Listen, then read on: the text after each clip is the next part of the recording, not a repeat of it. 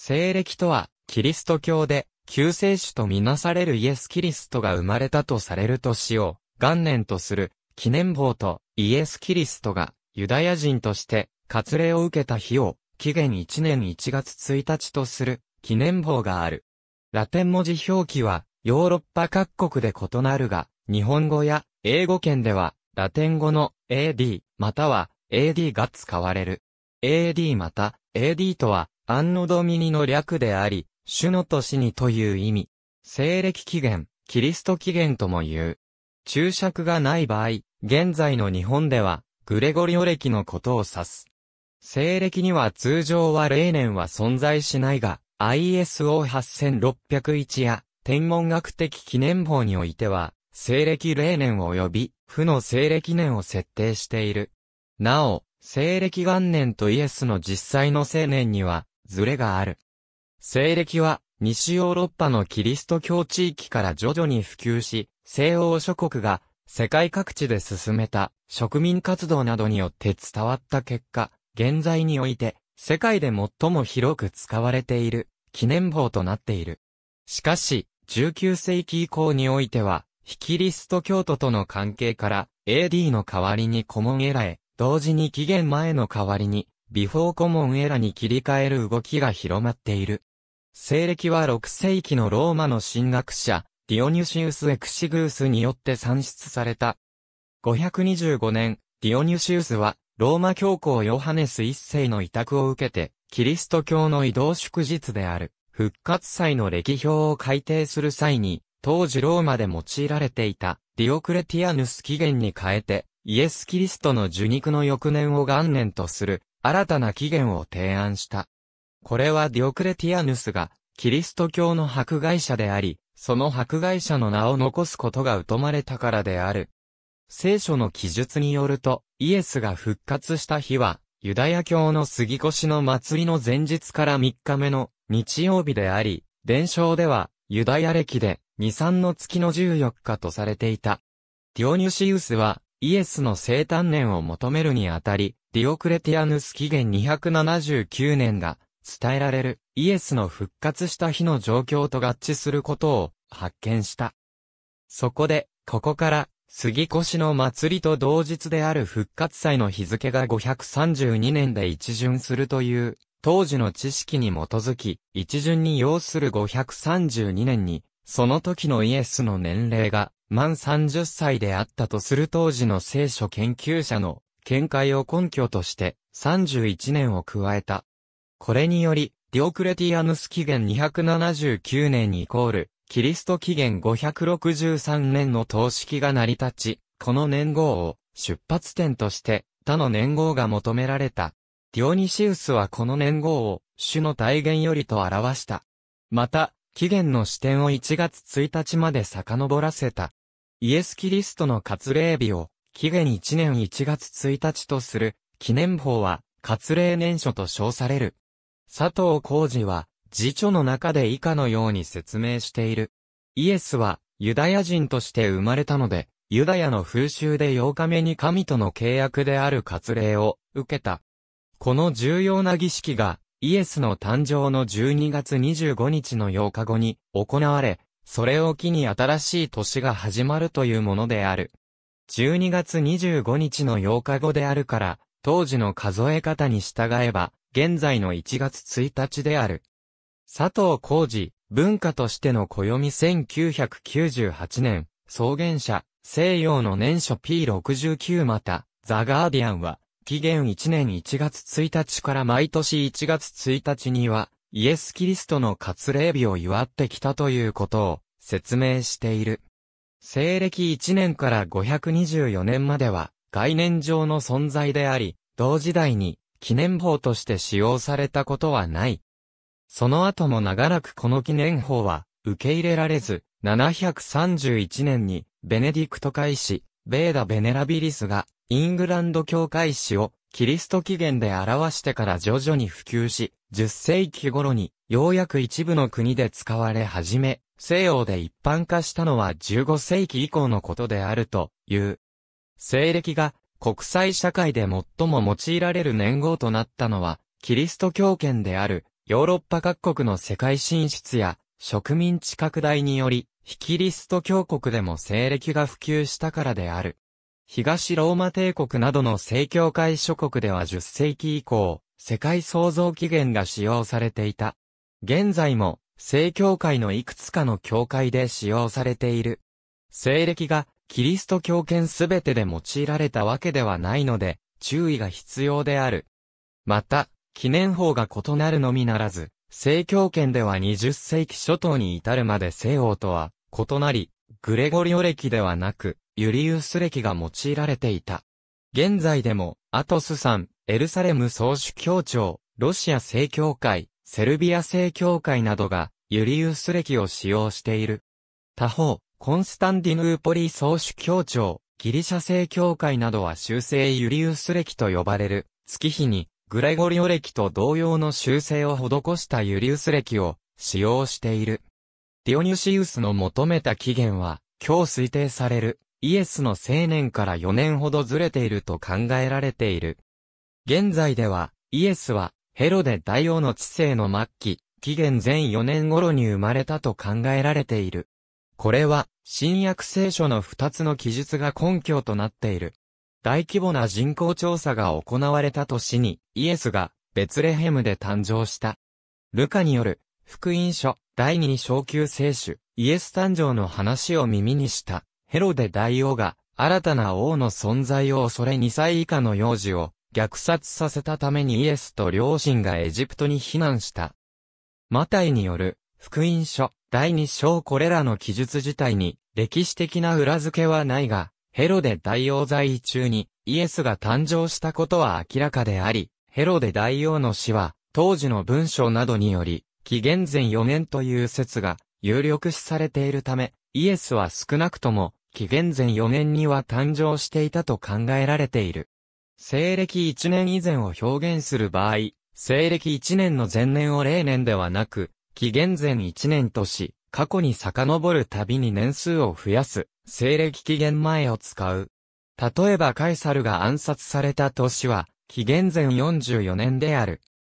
この記法は17世紀のフランスイエズス会の神学者、ディオニシウス・ペタビウスの発案によるものであり、18世紀末になって、ようやく一般化した。日本では、通常、紀元前年という。日本でのオーブン表記は、英語の、ビフォー、クリストの略である BC、または BC である。西暦1年より、前の年数を表すには、紀元前を用いるので、通常は例年や複数を持つ、西暦年は存在しない。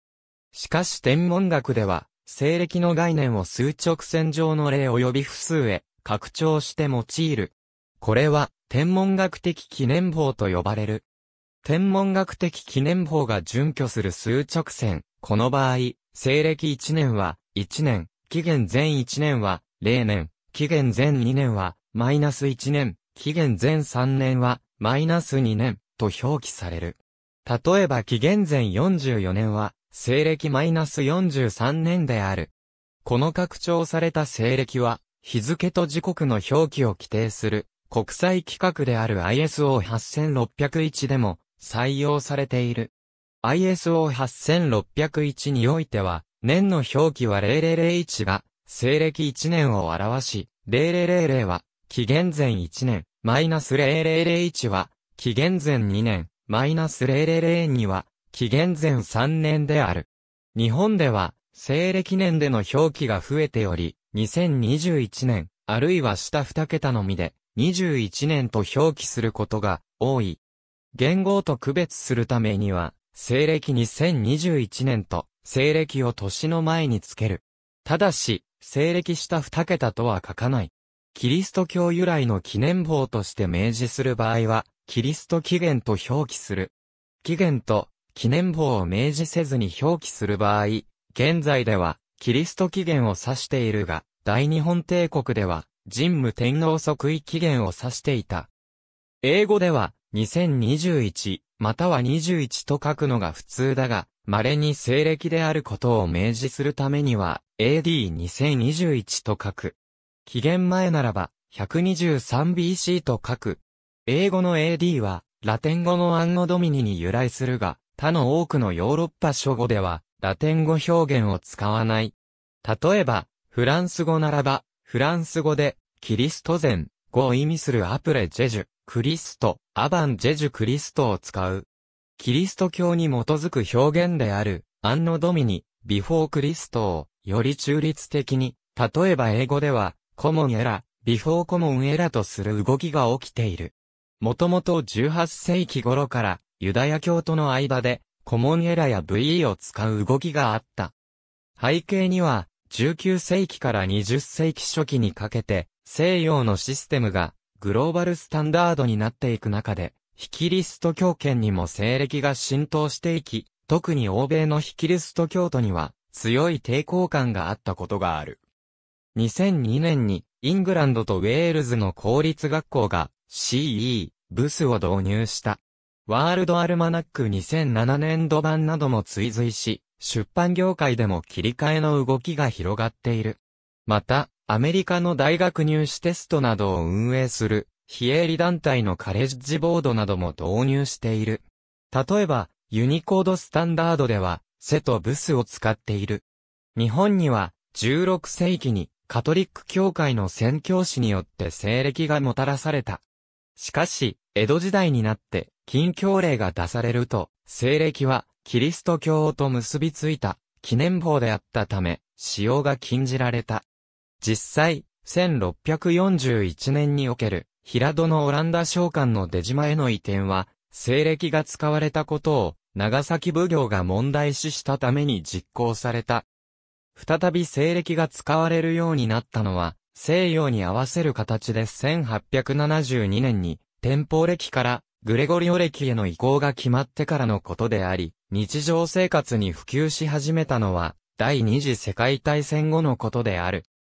日本の政府機関や地方公共団体などが作成する公文書における年の表記は基本的に元号のみが用いられているが、日本国憲法の政教分離規定、信教の自由の観点から国民が提出する申請書などへの西暦の使用が禁止されているわけではない。気象測記検定規則に定められた気象機器の検定商員の年表示や父及び乳製品の成分規格等に関する、省令に定められた食品の賞味期限表示、日本国旅券の名義人の青年、運転免許証や個人番号カードの有効期限のように、西暦を使用する法令も存在する。また、外交聖書は、西暦主体の表記となっている。西暦年自体を公的に定義している例として、情報における日時データ形式を規定する、日本産業規格時スウェックス0301においては、国際規格 ISO8601 に準じて、西暦年を、メートル条約の調印年を、1875年、として、この起点から年の値を、増減両方向に定義する、記念法として定めている。今日の日常生活では、2000年のように原因号と、併記する場合がある。主要なマスメディアの多くは、主に西暦を使用しており、法令番号や判例など、言語で記される、公文書を示す場合は、西暦に換算するか西暦を併記している。西暦と同様の記念法として、日本には、神武天皇即位期限が存在する。明治期から太平洋戦争終了までは、元号とともに、後期も用いられた。現在でも有効であるルード氏の置き方に関する直令で神武天皇即位期限が使われているが、戦後は用いられていない。西暦に対して言語を用いた日本独自の記念法のことを和暦、あるいは法暦と呼ぶことがある。中華民国では、辛亥革命勃発の翌年にあたる1912年に元号を廃止し、中華民国が樹立された1912年を元年とする民国起源を採用した。中華民国では、銭湯の次の元号のように、民国という表記で扱われている。中華民国が台湾に逃れた1949年10月以降も、政府機関が公的な場で使用している記念法であり、民間では、西暦と共に使用されている。